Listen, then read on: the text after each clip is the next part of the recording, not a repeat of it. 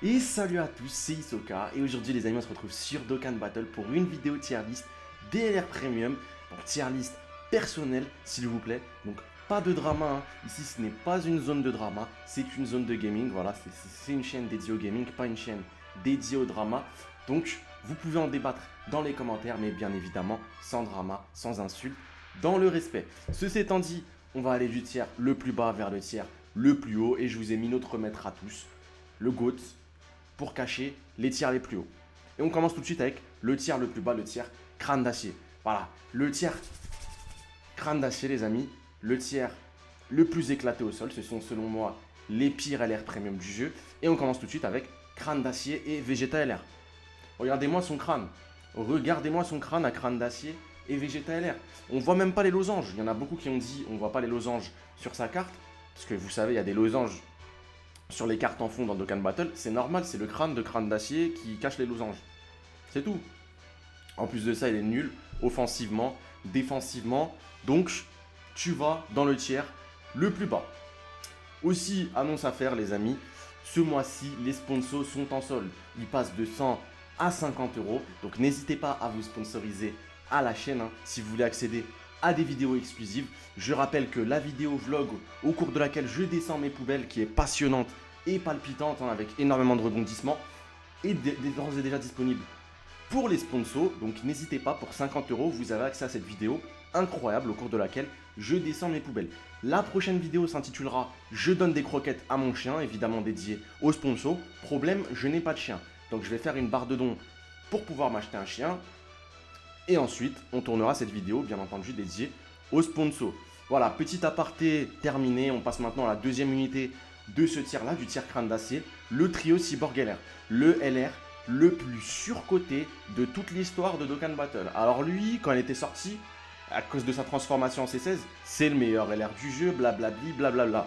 Honnêtement, moi je l'ai joué, bon je l'ai joué très peu, hein, je l'ai joué deux fois.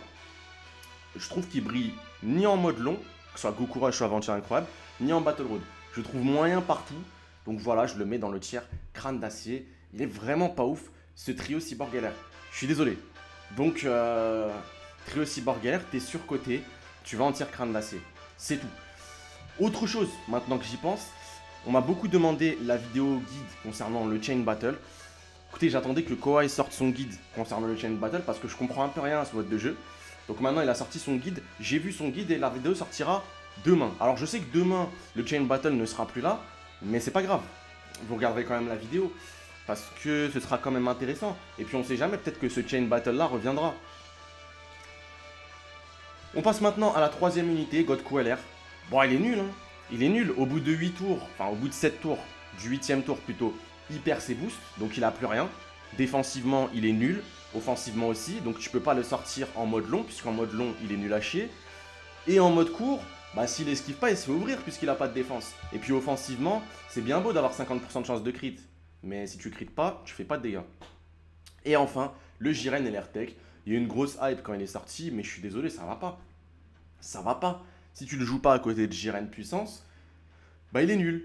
Il est pourri offensivement, défensivement. Donc, le Jiren LR Tech, il est ultra surcoté, ça va en tir crâne d'acier. Pour moi, il n'y a aucun problème. Et il y a une dernière unité qui va dans le tir crâne d'acier que vous ne voyez pas encore, mais que je vais vous afficher dans 30 secondes. C'est Francesco Totti. Non, je rigole, c'est pas Francesco Totti, rien à voir. Le voici. Le voici, les amis. C'est Sariel. Sariel, les amis. Alors, vous allez me dire, il n'a rien à voir avec le jeu. Hein. C'est un personnage de 7 DS Grand Cross. C'est une unité de 7 DS Grand Cross. Mais ça va en tir crâne d'acier. Pourquoi? Parce qu'il est surcoté. Ce personnage ne sert qu'à faire les démos au Lex et les gens s'extasient dessus. Ils le voient tous comme un god tiers, comme un personnage incroyable, alors que c'est pas du tout le cas, les amis. Sariel, il est pourri. Dites-moi quand est-ce que vous le jouez, quand est-ce que vous le sortez? En dehors du démon Olex. Donc voilà, Sariel, tu vas en tiers crâne d'acier. Je suis désolé, t'es nul. On va maintenant demander à notre maître Pessi de, se décaler. Et vous allez voir le tiers du dessus, le tiers finito.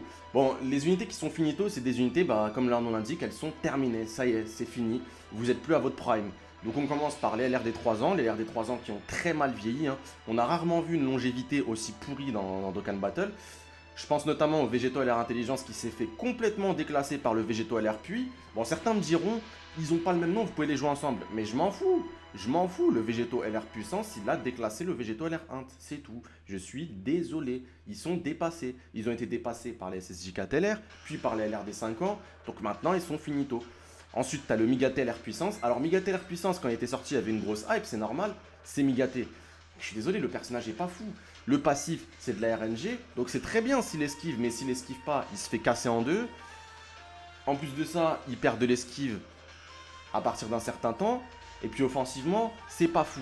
Et dernier point, on vient d'avoir sur la JAP, et on l'aura bientôt sur la version globale, le ZTER du Migate Int. Et avec son ZTER de Migate Int, bah c'est terminé. Migate puissance à la cuisine, les amis. Donc, je suis désolé, Migate, tu es finito. Babi LR, n'en parlons même pas. C'était sympa quand il était sorti, mais frérot, qu'est-ce qu'il fait de nos jours? Il débuffe l'attaque. Ouais, ça sert un peu à rien. Et puis en plus de ça, sur son passif, il a des boosts additionnels face au CN200 pur et CN200 mêlé. C'est bien beau, mais encore faut-il avoir des adversaires de ces catégories-là. La catégorie CN200 pur, elle est vide. Il y a autant d'unités dans la catégorie CN200 pur qu'il y a de cheveux sur le crâne de crâne d'acier. Donc je suis désolé, ces boosts additionnels à Babi, ils servent à rien du tout. Et enfin, le CLR Endurance. Alors lui, c'est une fraude intersidérale. Il est mis sur un piédestal par beaucoup, mais j'ai envie de vous dire, en, en Tenkaichi Budokai, mais tu sers à rien frérot, il y a Broly LR puissance. Et en plus de ça, maintenant que Broly LR, il a eu son ZLR, qu'est-ce que tu veux jouer CLR Endurance? Il pue la merde, voilà, il sert à rien en Tenkaichi Budokai. Voilà, on va aller découvrir les tiers du haut. Donc je vous présente d'abord le tiers Théaton Prime Harry. Ah, c'est des unités qui sont à leur prime, hein, comme leur nom l'indique. Pas besoin de trop épiloguer, vous voyez qu'il y a quand même pas mal d'unités, il y a plus d'unités que dans les tiers finito et crâne d'acier. On va maintenant découvrir le tiers encore au-dessus, Masterclass Ari. Je vais vous décaler la cam histoire que vous puissiez voir toutes les unités. Bon, pas trop besoin d'épiloguer, hein, Masterclass Ari.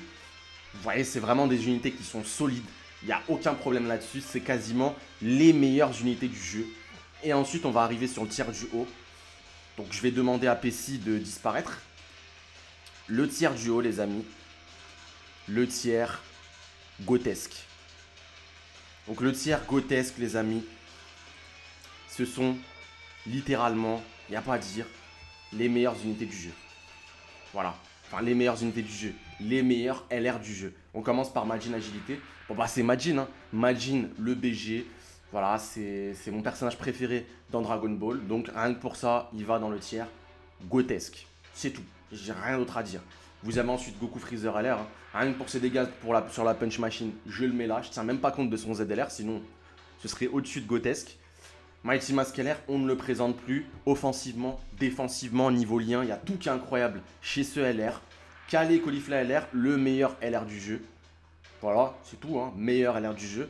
Broly LR puissance en Tenkaichi Budokai, c'est le GOAT. Je suis désolé, encore plus maintenant qu'il a eu son ZLR. Le Gohan LR Intelligence, un exemple de longévité dont devraient s'inspirer les LR des 3 ans. Regardez les dégâts qu'il fait, les gars. Depuis le temps qu'il est sorti, il est toujours au sommet de la hiérarchie niveau dégâts. Donc Gohan LR Intelligence, c'est grotesque, les gars. C'est grotesque. C'est tout. J'ai rien d'autre à dire. Et enfin, les LR des 5 ans, Végétaux et Gogeta des dégâts incroyables en mode long hein, quand ils sont full stack. En Battle Road, il n'y a pas de problème. Vous les mettez en troisième position, vous esquivez. Donc, il n'y a aucun souci à ce niveau-là. Ah, et il y a une unité que j'ai oubliée. Il y a une unité que j'ai oubliée, les gars.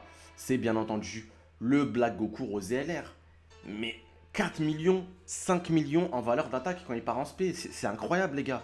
Comment vous voulez le mettre ailleurs qu'en Gotesque Black Goku LR, il est magnifique.